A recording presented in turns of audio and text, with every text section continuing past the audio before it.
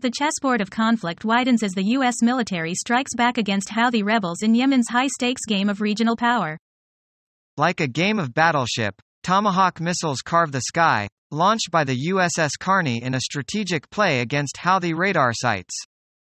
The UN stage sets for drama as Russia's spotlight condemns the US, while the plot thickens with the spread of Gaza's war shadows.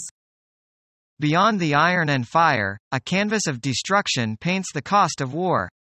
Thousands lay in sorrow's embrace as Gaza's heart weeps rubble. In the grand theater of war, the U.S. moves its pieces, seeking checkmate on Houthi ambitions, while the Red Sea's waters murmur with unrest.